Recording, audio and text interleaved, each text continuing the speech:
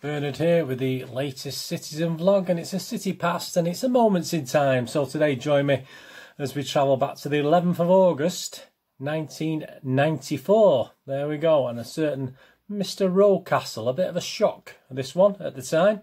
Please, if you're new to this Citizen uh, channel, please push that uh, subscribe button and push the notifications. Make, you, make sure your notifications are set to public so you don't miss out on any of these little history vlogs or if you watch my uh, latest vlogs on what's happening in City's world now, the city presence, uh, please uh, please push that subscribe button and enjoy more content and everything's in the links below, etc.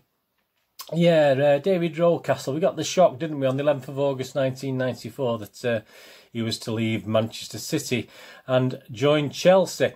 Um, obviously, Paul Hince summed it up in the, I think, the Manchester Evening News. Uh, some of it entry meant exit Davids, exit Davids. So yeah, obviously there's a lot of buzz, a lot of buzz. I didn't even plan to say that. A lot of buzz about Nicky Summerbee coming to to the club, and it sort of uh, left City unable to put Mr. Rocastle in a spot because obviously in some of the friendlies he played, etc., he was uh, getting replaced by Nicky Summerbee and various things, and uh, it wasn't quite working out. So Paul Hince obviously wrote in the in the evening news on the on after the 11th of August statement. Uh, David Rocastle became the first victim of the first competition for places at, Main, at Manchester City today when he left Maine Road in a shock 1.25 million transfer to Chelsea. Rocastle agreed to move back to his native London because he knew that he was unlikely to figure prominently in manager Brian Horton's senior plans this season.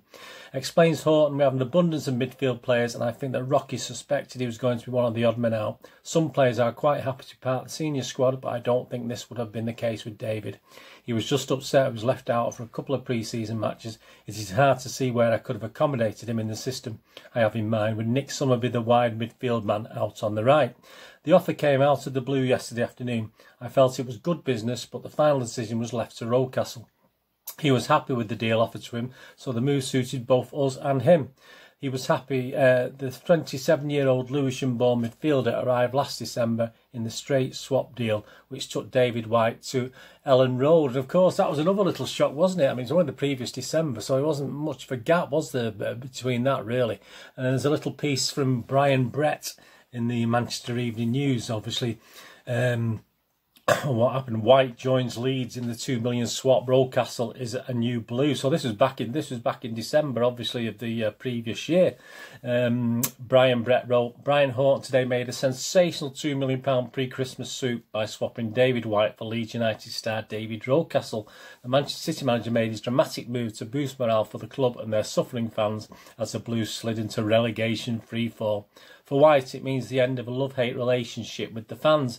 He made a stunning impact with his pace and drive to win an England cap, but his form has declined along with City's in recent seasons. Horton said, We have watched David Rocastle for some time and we are delighted to land a quality player. He has not figured as much as he wanted to at Leeds after his move from Arsenal. Uh, many successful years there. This gives him the opportunity to kick-start his career again. So there you go. That was a sort of shock there, wasn't it? And then we were followed by another shock, obviously in August with his with his uh, leaving City so soon. Obviously. Uh, to join to join Chase, Chelsea. I mean, he actually played in the pre-season friendlies. Wasn't featured in the team, uh, the Manchester City uh, squad for the 94-95 season. He's not anywhere in there, but he had played in some of the friendlies uh, in the Isle of Man, uh, Norway, um, and uh, you can see him featured in the in the wonderful black and black and red kit. Um, obviously on the on the in a, a win before Falk SK SK of, of Norway, and he also featured three days on the eighth of August, three days before he moved. He also featured in a pre-season friendly at uh, at Portsmouth, a two a two one defeat at Portsmouth. Uh, but by City's prestigious game against Feyenoord, that was obviously we were invited Feyenoord European European competition to Maine Road. Uh, but before that, friendly on the 13th of August 1994, Ro- Rocastle has, has left. Uh, it's interesting, isn't it? I mean, as as in the case of, of these things in football, coincidences always happen, don't they?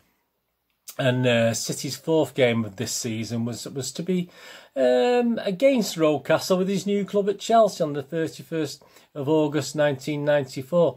And obviously, there's a feature in the Chelsea programme with David Rocastle, and uh, the comments are David Rocastle David Rocastle has had this evening's clash booked in his diary ever since the fixtures were first announced. The only difference is he expects to be playing a Manchester City shirt, not running out in Chelsea colours. Despite his vast experience, a quietly spoken and articulate midfielder admits that the last three weeks have been a whirlwind.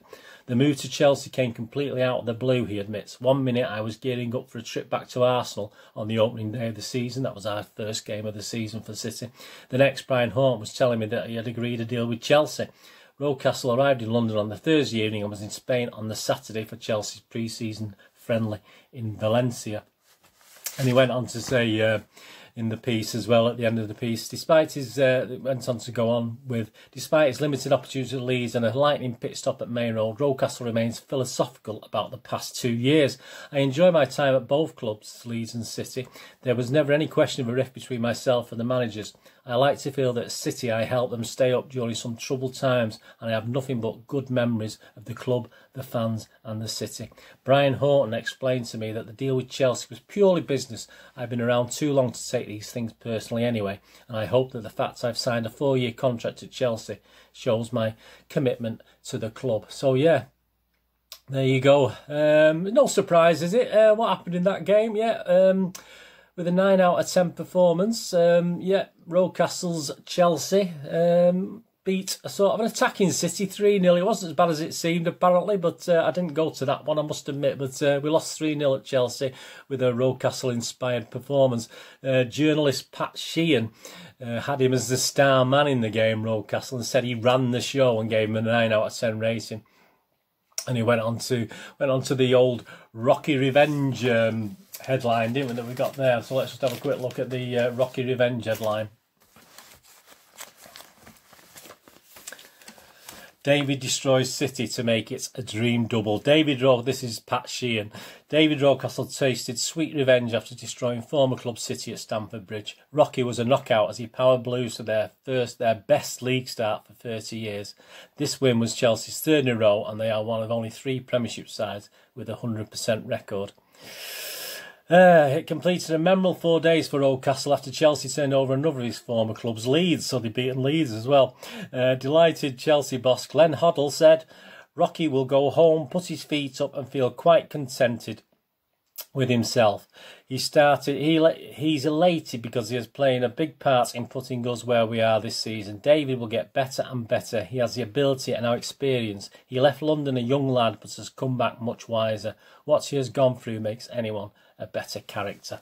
So obviously that was quoting from Pat Sheehan on the on the game where Liverpool uh, Liverpool Chelsea defeated us uh, three uh, 0 uh, sadly for Rocastle, his career sort of petered out with injury, etc and he never quite reached the heights. Obviously that he'd reached at Arsenal previously and uh, sadly um, diagnosed with with uh, cancer um, very aggressive cancer. I think by the year 2000 uh, it, had been he'd been told even though he was under under chemo chemotherapy he was having that that he, uh, by the year 2000 he was told it was terminal.